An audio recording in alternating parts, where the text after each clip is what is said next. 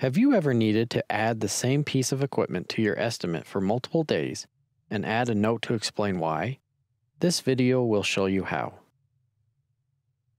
In this example, I'm going to add two dehumidifiers for three days to a room in a sketch I've already completed.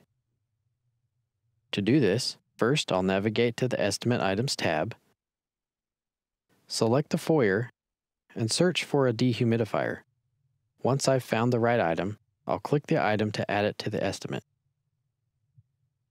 Now that I've added the dehumidifier line item, I need to change the item's calculation field so that it will calculate the cost for two dehumidifiers for three days.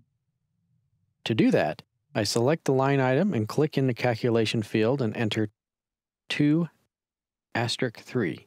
That is two dehumidifiers times three days. And then click OK.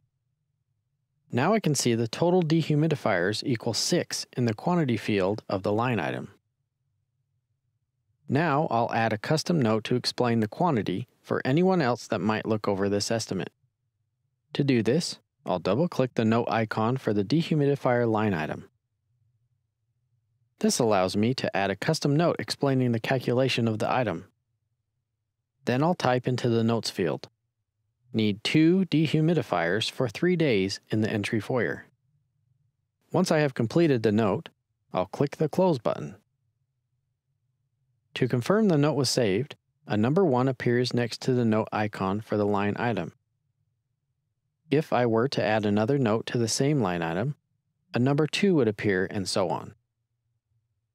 When viewing a report, any notes included with a line item will be shown in the line item detail section of each room. Excellent! Now you know how to add equipment to your estimate for multiple days and how to create custom notes for a line item.